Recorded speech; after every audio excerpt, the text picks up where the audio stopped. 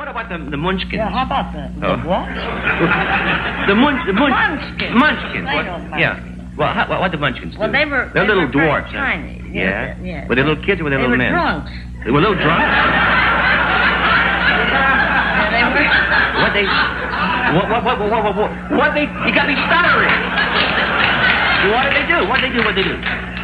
What did they do? The, what the dwarfs do? But one of them, uh, who was about 40, uh, a gentleman asked me for dinner, and I couldn't say, I don't want to go out. Mm, I can't because you're midges. Mm. I, I just said, no, my mother wouldn't invite him. Oh, come on, bring your ma, too, you know. How big was he? About two inches high.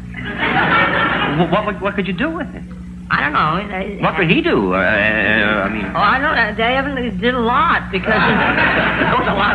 Oh, you hundreds of thousands.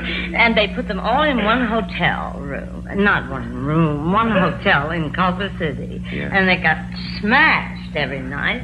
And they pick them up in butterfly nets.